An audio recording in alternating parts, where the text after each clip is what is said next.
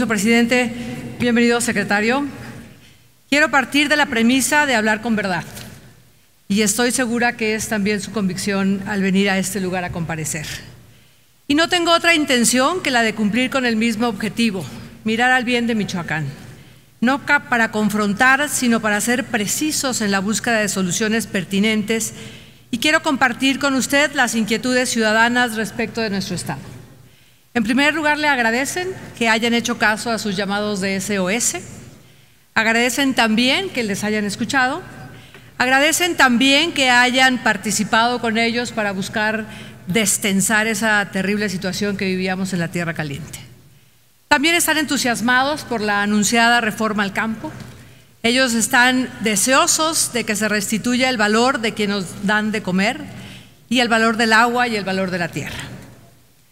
Voy a plantearle mis preocupaciones en dos temas y lo he estado escuchando con mucha atención, así que creo que nos servirá de retroalimentación, porque tenemos que buscar soluciones juntos. La primera inquietud ronda sobre el orden. Desde la llegada del comisionado, de cuyo nombramiento no voy a profundizar en si es o no constitucional, el concepto de cuerpos de seguridad confunde y ha sido confuso. Empezamos con autodefensa, seguimos con guardias comunitarios, luego pasamos a las guardias comunitarias, luego un mando único, luego no mando único sino unificado, luego a buscar eh, que los alcaldes se sumaran a ese mando único y a ceder su fondo 4. Y en algunas veces el secretario de Seguridad ha dicho, si no se suma al fondo 4, pues hágale como quiera para cuidar a sus municipios. Estos mandos han sido en 27 municipios. Y después pasamos a la fuerza rural y después pasamos a la fuerza ciudadana que se ha anunciado hace unos 20 días, a la que convocó el comisionado y a cuya convocatoria pues pasaron 91 personas. Es muy difícil, secretario, acudir a una convocatoria cuando el entorno y la comunicación son inciertos, contradictorios y cambiantes. Creo que tenemos que hacer énfasis usted a quien instruye eh, porque la gente está con mucha incertidumbre. Explicado por el comisionado, dice que unos son los rurales y otros los urbanos, pero cuando se le pregunta qué tipo de cuerpos de seguridad son esos no uniformados que pasan por las avenidas cargando con armas largas, una de sus respuestas ha sido que los uniformes son para inhibir y los sin uniformes son para investigar. Pero ¿cómo investigar con armas largas deteniendo a los transeúntes? Para más, ayer entraron a Michoacán 300 elementos de la Gendarmería. En Michoacán queremos saber quién es el mando, a quién van a someterse, cuáles son las reglas, cuál es el fundamento legal. Mientras esto no esté claro, es bien difícil confiar en la autoridad y créame que hemos querido acompañar, confiar. Usted sabe que todavía los tramos de control están infiltrados, lo hemos vivido recientemente. Eh, hay un reporte de reforma con fecha 2 de septiembre y se lo voy a narrar. Vía internet, un ciudadano exhibió haber sido interceptado por supuestos agentes de la Secretaría de Seguridad Pública cuando circulaba en su automóvil. Interesante, me han detenido un vehículo, una unidad de fuerza ciudadana. Dice que tienen reporte de robo y me están pidiendo 15 mil pesos para dejarlos ir. Así las cosas, denunció el Moreliano en redes sociales. Por esa misma red, ciudadanos han difundido fotografías y videos de los, de los civiles realizando patrullajes fuertemente armados. Un académico de la Universidad Michoacana logró captar con su videocámara el momento en que supuestos policías detienen y someten con violencia a los ocupantes de un automóvil compacto que circulaba sobre una avenida de las más transitadas de nuestra ciudad. Entiendo, secretario, que el conflicto era harto complejo y que del absoluto desorden es difícil pasar pronto al orden. Pero el monopolio de la fuerza que define al Estado tenemos que recuperarlo. Solo el orden constitucional puede construir el orden social. Mi segunda preocupación que compartiré con ustedes versa sobre nuestra angustia económica y subrayo angustia económica. Un balance preliminar efectuado con la nueva administración de Michoacán encabezada por Salvador Jara Guerrero estima en 27 mil millones de pesos la deuda del gobierno del Estado con bancos y proveedores. A principios de este mes, el gobierno del Estado planteó la posibilidad de modificar el decreto 22 con Banobras para reconstruir financieramente a Michoacán. Es la onceava vez, secretario, que se propone esta vía de endeudamiento y su reestructuración como solución a nuestra deuda. Y lo único que ha producido es su crecimiento en 115 veces en solo 12 años. No se pueden llevar a cabo acciones para reconstruir financieramente al Estado si éstas no solo conllevan aumentar el endeudamiento y menos si no hay una propuesta de parte del deudor, siquiera una propuesta estratégica de reconstrucción de las finanzas, de aumento de ingresos. Pero este apartado de la deuda lo tratará más mi compañero en una segunda ronda. Urgen dos cosas. Recuperar para los proveedores el daño ya hecho a la generación de empleos y conocer una estrategia ordenada y clara también de desarrollo económico propio. No se necesita volver al endeudamiento. A los proveedores les deben alrededor de 300 millones de pesos y ellos están ahí. Vivimos una parálisis en la obra pública y la deuda a constructores de más o menos 300 millones de pesos. La Secretaría de Educación, a los, deudores o proveedores son como 300 millones de pesos. Sin embargo, entre el boquete opaco de la Secretaría de Educación y el de Salud hay una falta de alrededor de 16 mil millones de pesos. En Michoacán, por lo pronto, y este es un reporte alarmante, hay detenidas 700 obras de infraestructura física en educación, 300 obras de la Secretaría de Obra Pública y 100 obras de caminos. Un ejemplo del desorden de la impunidad. En diciembre pasado, el 23 de diciembre, el responsable de la Junta Local de Caminos solicitó a la Cámara Mexicana de la Industria de la Construcción que aceptaran entrar a 45 proyectos sobre caminos que había que cumplir el día 31, siete días después.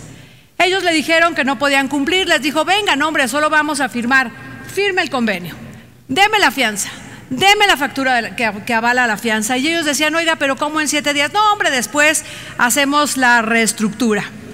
Seguramente que estaban justificando gastos del año 2013.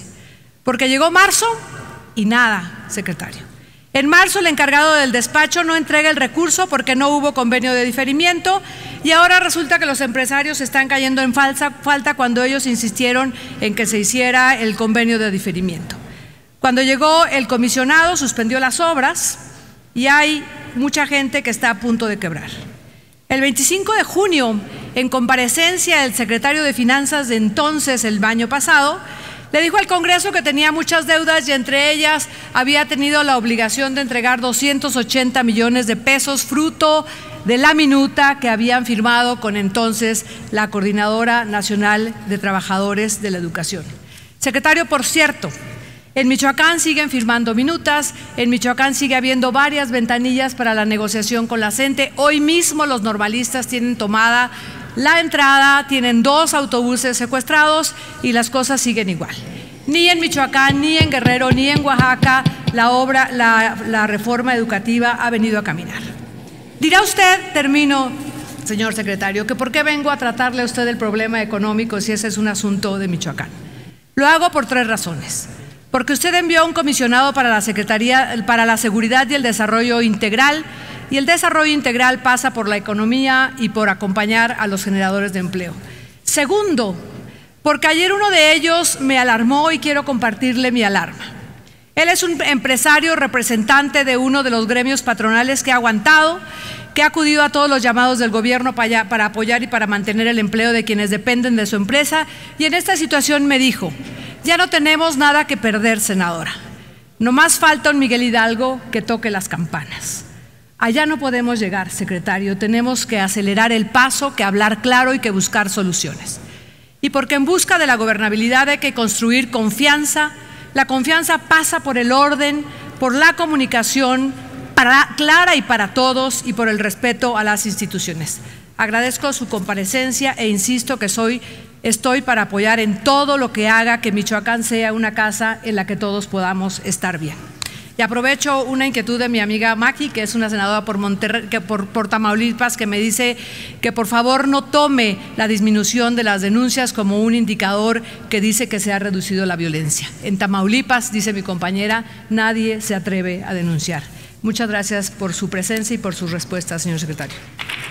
Le agradezco, y secretario, y coincido con usted, solo que traemos un ruido, una disonancia entre lo que usted y yo creemos y lo que de repente pasa. Se nos explicó que el mando único era que cada quien en su distinta tarea tuviera un estándar, un protocolo, que hubiera un buen salario, pregúntele si a los guardias rurales les han pagado, pues no les ha pagado a la fuerza rural. Habíamos dicho que para que la gente no delinquiera había que ah, tener un salario digno, suficiente, aún no les pagan.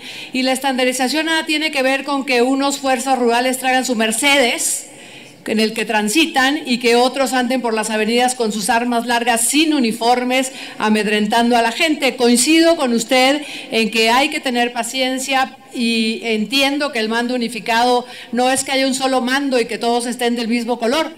Entiendo que hay un protocolo y unos estándares. Es lo que no está sucediendo, secretario. Respecto de el comisionado, entiendo también que tiene un perfil policíaco de perseguir la delincuencia, pero de repente también querrá meterse en nuestros procesos electorales. Ha dicho que va con el CISEN a investigar a los candidatos. Yo no sé si le corresponda o si le corresponda al órgano electoral en su momento. Y respecto de la economía, creo que también necesitaría una compañía de gente que en Michoacán hay gente muy, muy valiosa que viera el tema del desarrollo económico. Claro que hay quien les convocó a firmar un convenio de 45 obras siete días antes que los defraudó. Tiene nombre y apellido y coincido con usted en que la impunidad debe castigarse.